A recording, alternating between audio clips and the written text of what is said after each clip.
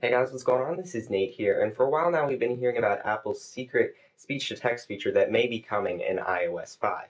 Well, it appears that this feature is already enabled in Target's mobile app that's currently available in the App Store for the iPhone, iPad, and iPod Touch. So let me show you how it works. So if you bring up the keyboard here to search for an item in Target store, you're going to notice the speaks to search icon right here. So if we simply select it, I'll show you how it works. iPhone 4 cases. And you see it brings up the iPhone 4 case term right up into the search bar. Select search, and it'll bring those items right up for you. Let's try another item. iPhone charger.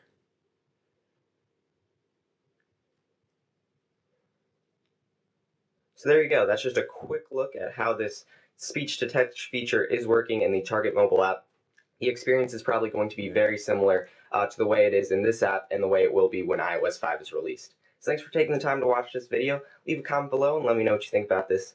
Subscribe, and I'll see you guys later.